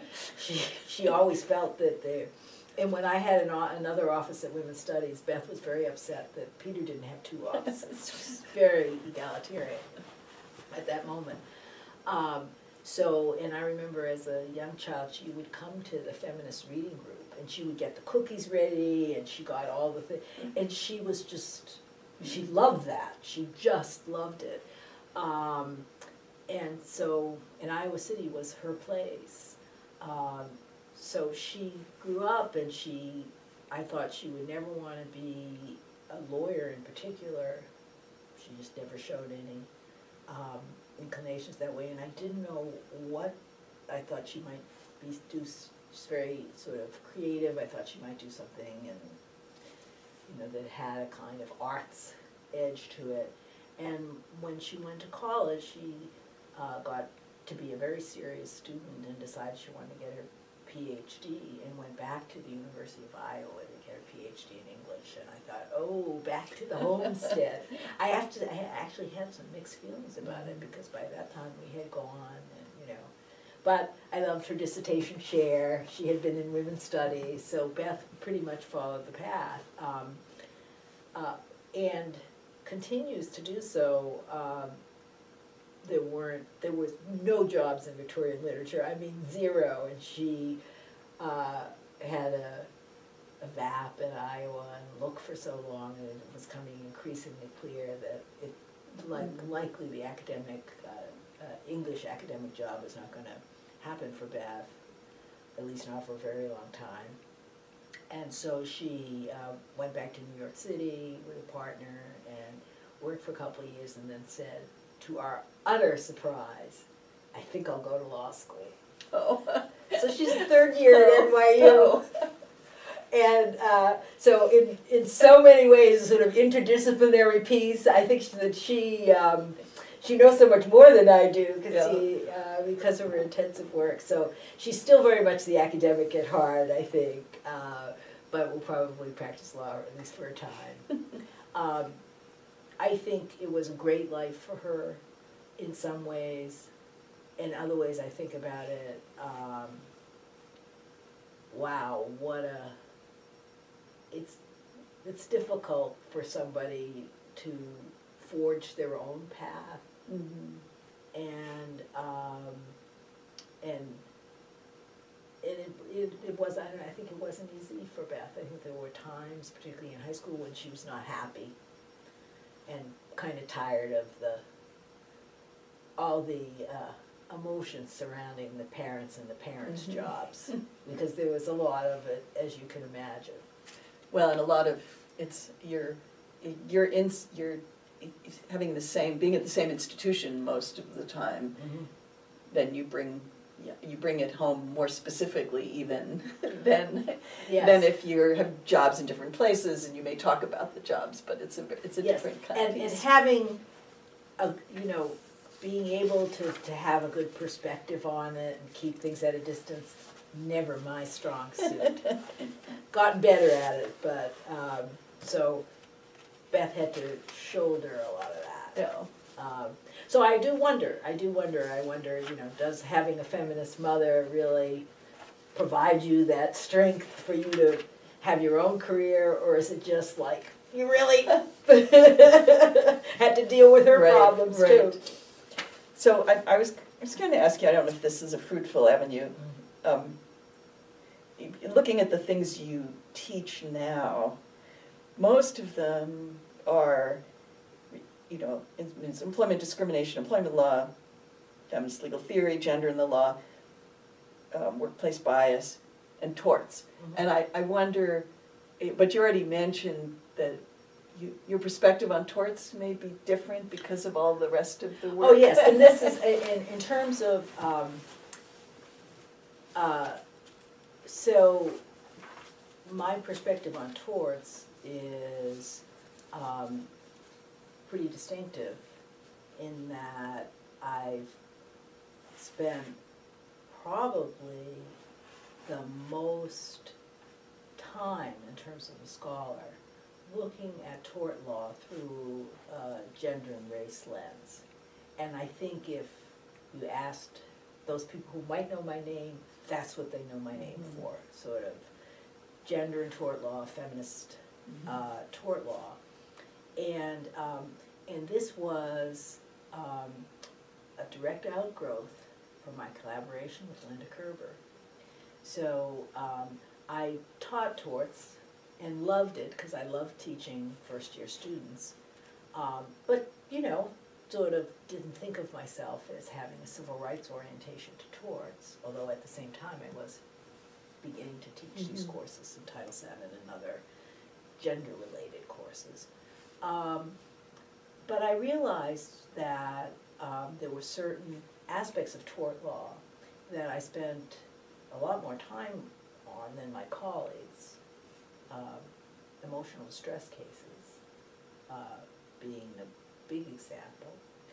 Um, and particularly when we started paring down torts from five hours to four hours. And, um, I didn't want to get rid of these courses, Mhm. these cases, so I started thinking, well, you know, what's the significance of these cases? And I did realize early on that there were female plaintiffs, they were often pregnant, the kind of gender saturated uh, rationales for denying recovery, particularly in the earlier cases, but the cause of action still seemed to be marginalized, and I wanted to know just what was going on, and that's when I did approach Linda. And I said, I've got this idea for us looking at the history of these fright cases. Hmm. These cases where uh, plaintiffs say that fright caused them um, some kind of miscarriage or stillbirth, you know, these early canonical cases that were called mental distress cases, but really were reproductive interest cases, Mhm. particularly when the harms were stillbirths and uh, miscarriages. So, um, so that's where we started our collaboration, we did sort of um, look at the history of these fright cases in different periods in U.S. history, and um, um, and produced an article. Um, and then I realized, oh, this isn't just the fright cases. I could investigate many other areas of tort law, vicarious liability, intentional tort law, uh, theorize about the various kinds of biases um, in tort law. And, and so I've, I've spent a good deal of my career um, writing about these issues. And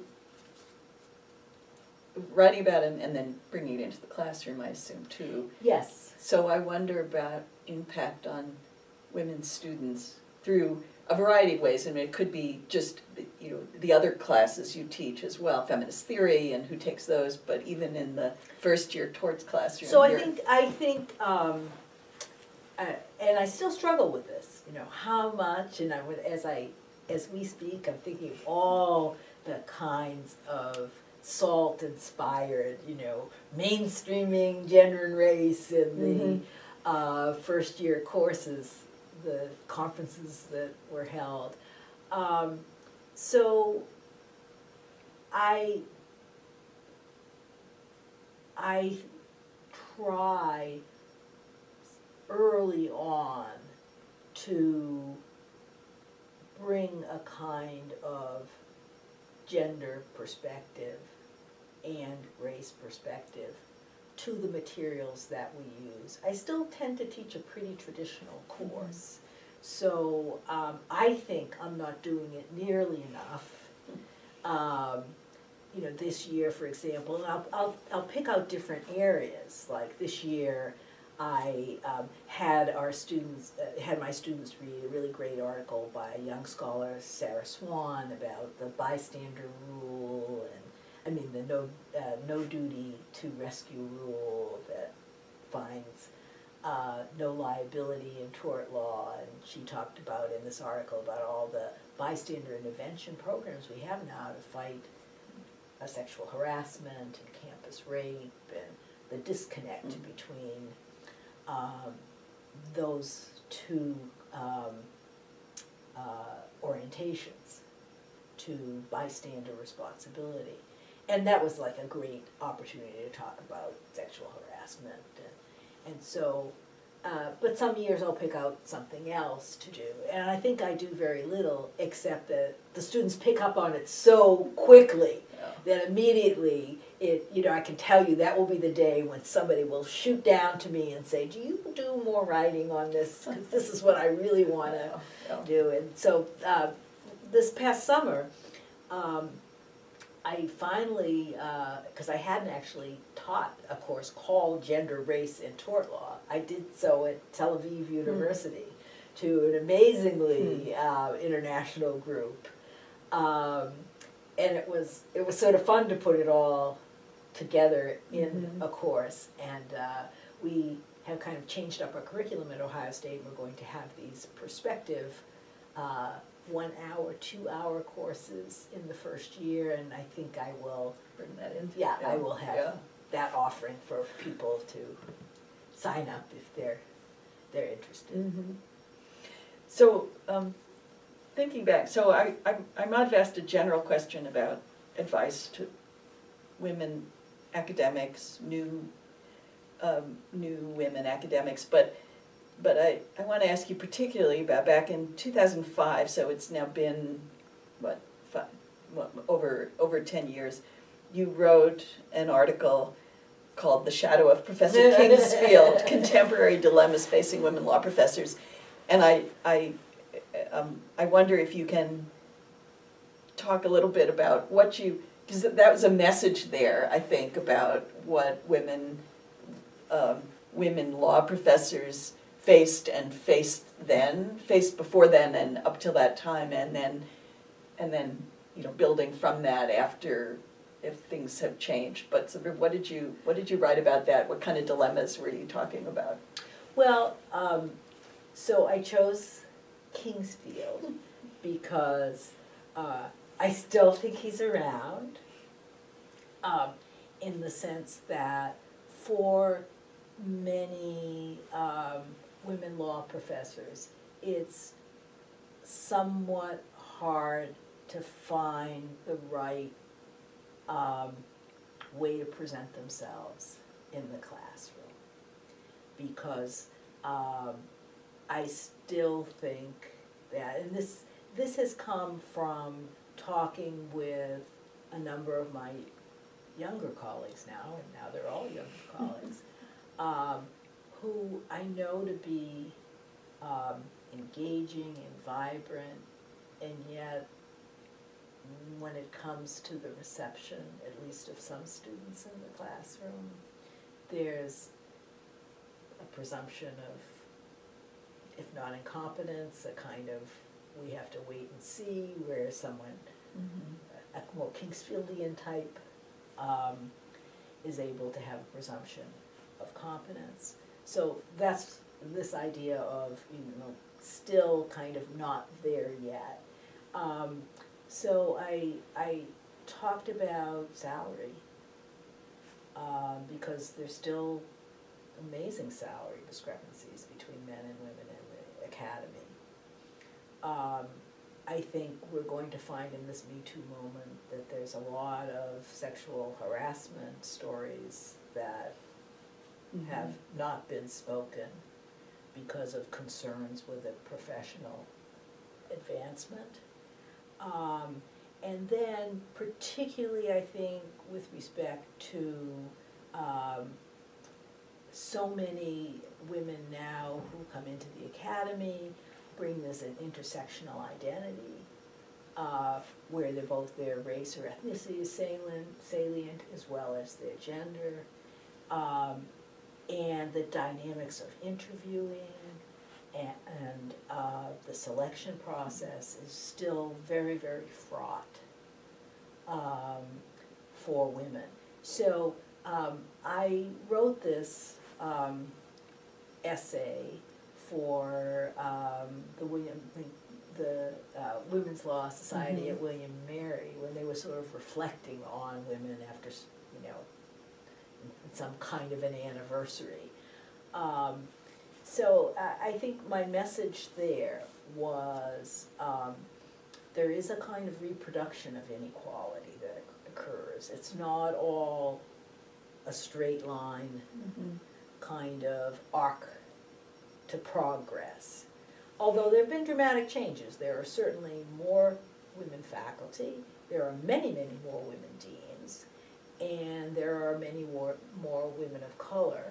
There are large numbers of law students. And I think that feminism is pretty established, even if marginal. You know, I always say established but marginal. Um, but better than no, no, you know, no yeah. structures. There are feminist law journals. I mean, you can do fine Mhm. by using these uh, these uh, these supportive structures. Um, but I do think there, at least until last year with Me Too, there was a, a sense by a number of faculty members that the gender thing was all over in law schools. Mhm. Um, and instead, not so much, because particularly with the requiring PhDs or these other kinds of hurdles, we, we, we've kind of again plateaued, there's a, um, Derek Bell always called it a kind of containment, Mhm. where you look at faculties and, oh, like we're about a third here, and that's sort of what it is in a lot of places. Congress may be at twenty-two percent, Senate maybe twenty-two percent now, but come on, Right. we were supposed to be at somewhat at parity, and it still matters, it's not just the numbers, it's that there's still this concern, do we have enough women in the first year classes? You know, we want you to teach this so we can, you know, I, I heard, oh, we want so-and-so to teach, so we have a woman in the first year class, and I thought, yes, that's important, and I am so tired of hearing it. Mhm. I'm so tired of having to schedule with, with gender in mind. Um, you know, we really ought to be at a point where it doesn't, we don't have to take that into account, but we're nowhere near it. And, and particularly with respect to the dramatically no, low representations of African Americans, Hispanics, and some other minorities, it's, it's, Right, the diversity within and the intersectionality makes it know. yeah. So, you know, very much a work in progress. Mhm. So we've talked about the, the arc of your career. We haven't talked, we, we, I guess we didn't talk a lot about OSU, but you did in inter, you know. I have to say a few things. Okay, say a few Uh, things. a few things, but then I think I kind of let you go Yeah. Um, so, uh, it's funny because Joshua Dressler, who is also a lateral hire here, has the same speech, so we have our speech down, but very, but the very quick speech is, um, OSU has been different. It's been so much more receptive to me. Um, I feel like I breathe every day I come to work and I don't take the back stairs so I can avoid various people and uh, it, it, you know, and it's been so long since I've had to, I've had to do that that I don't remember really doing that. Um, I, I have felt like when I wanted to be heard, I was heard. Um, you know, you don't always get what you want, Mhm. but, uh, and I think partly it's because, um, there was a longer tradition of gender leadership.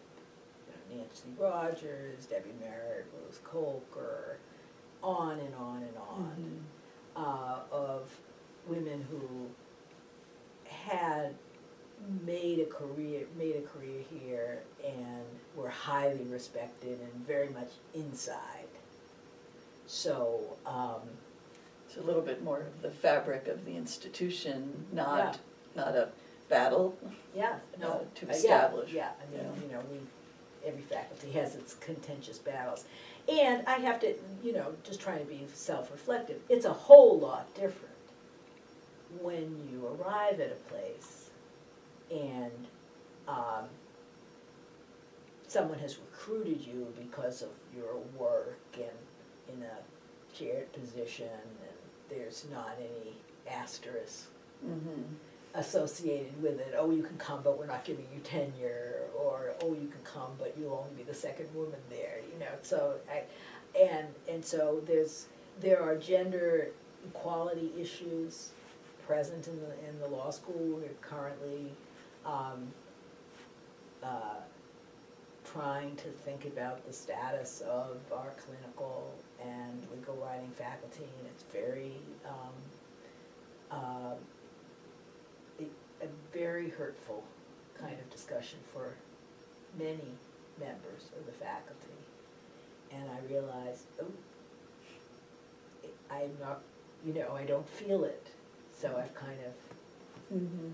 uh, crossed over in that sense. But it's nice because um, there was a time, and this is what Joshua and I said, where we thought every time we go to a faculty, we're gonna be looking to get the hell out. But we don't at all feel that way, No, so, no. you know, kind of, um, uh, good, good place, good time. And how does that, does that play out in your productivity or, I mean, it's, it's been a long time coming to get to that space. So, um, so I think, first of all, it has allowed me to continue to teach, I'm sixty-eight now, and, uh, not want to leave immediately, so it's allowed Mhm. longevity. Um, I, it's interesting about the productivity, you know, sometimes the adversity kind of Yeah, makes you publish more than you would, or maybe it's at a different time, so, you know, I wouldn't say, oh, I'm a more, more Mhm. productive person. I'm just a happier person, and I'm likely to last longer. yeah. Uh, and, um, and that makes a, a, it makes a big difference. And I've, um, chaired the appointments committee a bunch of times here. Um, we've hired a lot of people. It just, you know, I just feel like it's my school. Mm-hmm, And I do say that about the other schools. no, no. Yeah, Well, that's a great place to Yeah. be yeah. at, yeah, at this so, stage, so. So, anything, anything else that you'd, I, I think I've run out of questions. Yes, Um, but you've done like so, what- you've been so comprehensive, I, I'm, I'm sure there are things. But the, the one other thing that I think I mentioned before, and, and I, you know, I think about younger generations, um, of law faculty and students as well. Uh, so every step along the way, I have had these great women networks, you know, whether it Mhm. was those twenty at LSU, um, students together, or SALT, or um, the various people that I tended to connect with in the visits. Um, and that was, that's always been sustaining. And, and it sustains sort of through the generations. So, um, the younger faculty members that I am most close to are supposedly the ones I mentored. And I always laugh about that because the ones I mentored, I'm calling and saying, did you write an exam this semester? Could you send that to me so I can take a look at what you're doing?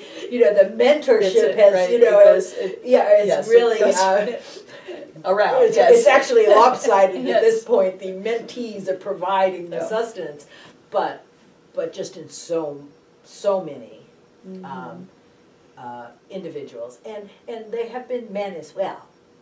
uh, but mostly women. And uh, even in terms of the publishers of my books, the editors of my books, you know, and um, so I just think I just live in that world Mhm. and have been happy to do so and, and feel supported. And, uh, and I think this is what feminists talk about when they talk about agency and, and collaboration and coalition. Um, so what, every year when I teach gender and the law, something like this, and I say, somebody who I've never met or something, says, oh, what are you teaching? I say, oh, I'm doing a seminar on gender and the law, feminist theory. And they say, how many men are in that class? Hmm. And I think this year, this semester, I've had several great guys, but this semester I think it's zero. And, you know, I finally told off somebody that asked me that question, and I said, no, the implication is somehow, and I think they want to know, are you just, are you reaching the Mhm. men? And I've never thought that that was a problem. I've always thought that the kind of intensive intellectual experience, particularly interrogating issues of gender, race, and other, um, can be done very productively in an all-female space. Um, it can also be done very well in an integrated space. But this idea, yeah, this I, and, and I think this is, for me, sometimes the best discussions are not the discussions where it's point counterpoint, although those can be good. Mhm. But where you're kind of drilling down deeply, you're saying, you're asking why, and even if you're, you're just finding more support for, um, an argument, and you're able to do so because there are a lot of people who have the same perception, but Mhm. they have slightly different takes on it. Or, hey, what about all the differences among women? Right. And it becomes so apparent, because even when you have an all-female class, there can be uh, race, sexual orientation, pro-choice, anti-choice, uh, ideology, so many differences. Well, in class. And cla- Which, I mean, and we didn't, we didn't go back to, to that piece Yeah. about how your, your beginnings, because is one of the things that I've ended up with some conversations with Mm. among students, students coming from a working class or lower class background sometimes feel the most excluded and the most different yeah. because of the privilege that, that, that it, it has, that many of the students have in, in that way at least. So how, going back to those parts of your roots, how has that, I- you know, So, how does so that much, connect? I would say, and, and you're so astute.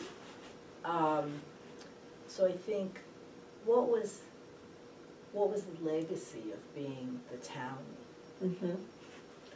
Um, and that is, it was a little hard to find my voice, and I mean literally find Mhm. my voice. It took me a year to be able to speak up in the LSU faculty meetings. I mean, I was, and, and I was fine in the classroom, you know, somehow you can play that sort of role and you're, you're, you're, you're Mhm. anointed, you're the teacher, there's the desk, you're gonna grade them, you know, this, people can perform roles. But the idea of being able to speak in this room full of law professors, you know, and I, I might have thought I'm the only woman, but it wasn't that, it was the kid from Watertown that I think was having the harder time speaking, and literally I would have to take deep breaths and uh, just to say much.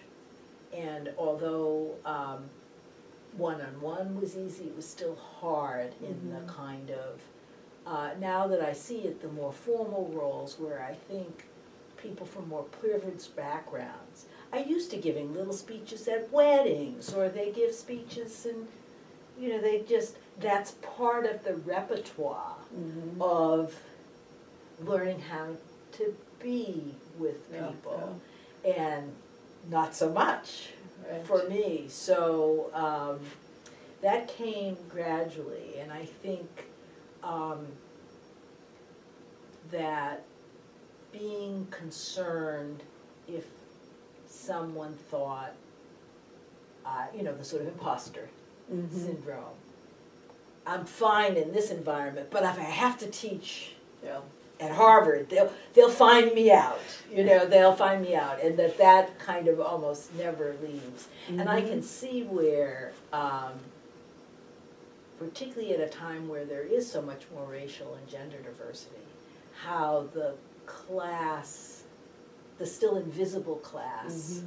uh, dimension plays a big role. Yeah, yeah.